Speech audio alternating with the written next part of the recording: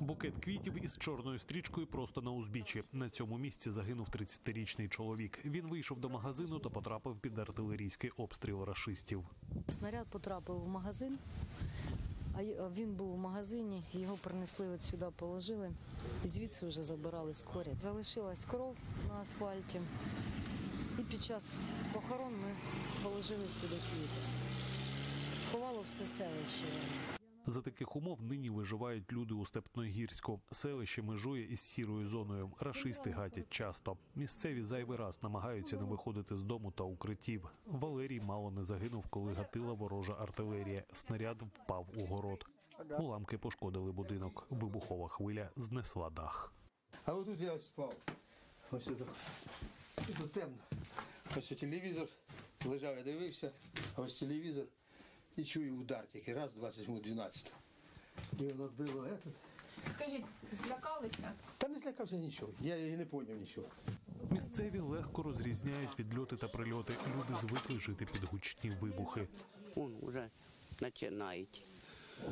Он грякають отак. Буває, бехкають, ну не то, а то як прильоти, так особливо дуже. Будинок Наталі теж постраждав від обстрілів. Розбиті вікна закрила плівкою. І як полетіли стекла, ну хорошо, що ніде не заділо. Всередину в хату. Злякалася і трусило, і таблетки пили. Ну то так, добре, да. Всі вікна ми позатуляли, де вікно, де стекла повставляли.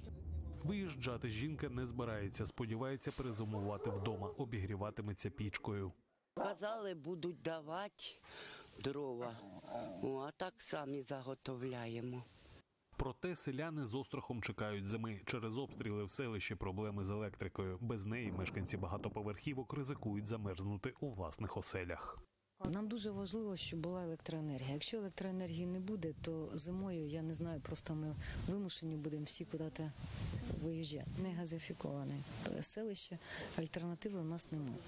У Степногірську залишається майже півтори тисячі людей. Повернутися додому мріють ще зо три тисячі. Сергій Вендіна, Олександр Осадчий, подробиці телеканал Інтер, марафон. Єдині новини.